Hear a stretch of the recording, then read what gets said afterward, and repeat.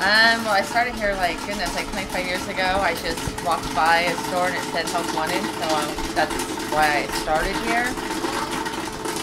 Um, we have popcorn, like caramel, cheese, cinnamon, and then we sell candy and ice cream. Can I help you? Um, I come in here and I start popping popcorn. Then I do all my paperwork and bank deposits. And then I usually have to clean up from the night before because they're a little messy sometimes. and then I like bag popcorn, make candy, do ordering to help customers in between. I mean, I know we've been around since like 1950. Um, this is like one of the oldest places down on, I think this is like one of the original places down on the plaza. And we're like the number one retail popcorn store in the world.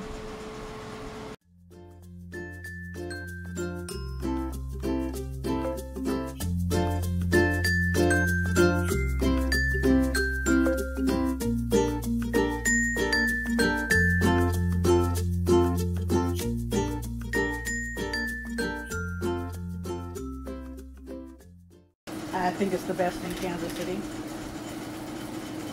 Dinner should be coming out. I don't mind. I'd like a smaller can, like a ten dollar can. That's what I would like.